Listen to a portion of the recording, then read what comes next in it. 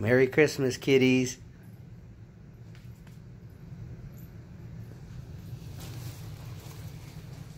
He dragged his mouse over here.